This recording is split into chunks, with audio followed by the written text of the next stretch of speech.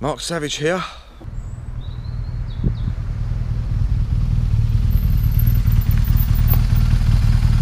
Okay, I know what you're thinking.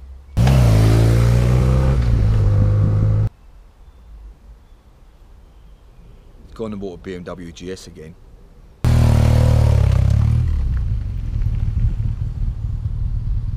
Okay, why has Marky gone and bought a BMW GS? Well, if you're a regular viewer of mine, I found the 2006 one quite nice, Mark 1, and I liked it so much I bought a brand spanking new Mark 3 2016.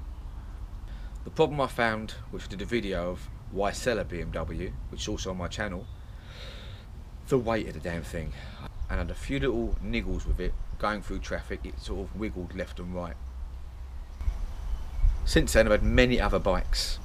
But, as in my last video, we literally got off of this, the VN 1600, and got straight onto the Ducati. And what do you think? I loved it. Because? You're more confident, maybe a little bit overconfident, but you are more confident. I felt better on the back of it, uh, but it feels very urgent and wants to get where it wants to go yesterday. So I prefer the BMW. The wife wanted a BMW. So I looked for the sales ads and I found a 2011. This one, which you've seen riding up and down the road.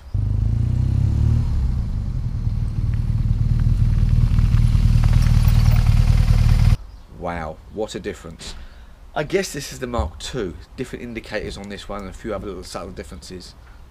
Does it ride really well? Wow, it does. I really, really enjoyed this one. Done 100 miles in it so far in a very short time. The gearbox. This engine has just under 14,000 miles. The gearbox, the gear change is absolutely smooth.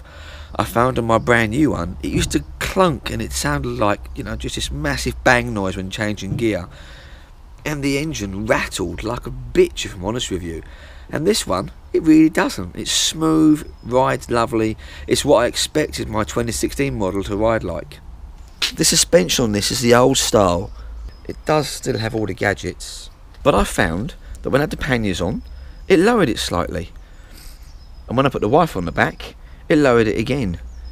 Up Practically with my feet on the floor flat. This is all I wanted from my original one I had.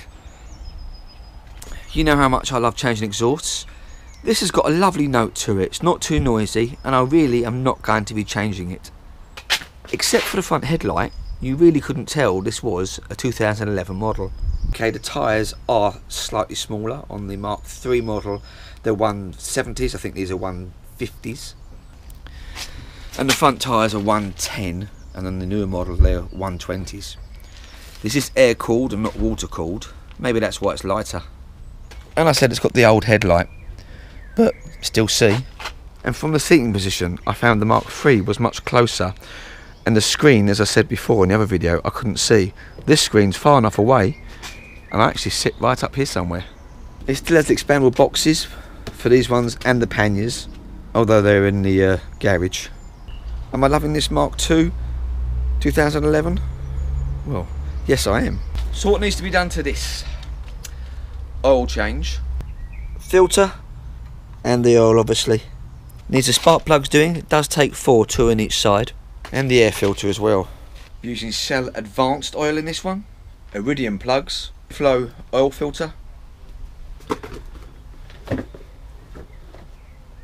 Well, I had to get something sporty. K&N filter. Comes with stickers in the next video a complete service you got to remember BMW will charge me 100 pound per hour that's the hourly rate now when I'm doing the bigger things like the valve timing and stuff like that um, on the big service. There's video out there. I'll debate on that one. But before it starts hammering down that's the next video. Simple service plus if you watch my latest video I'm going to put this horn on there show you the placement of that how easy it's going to be. And I haven't got the big frame on this one, it's not the GSA.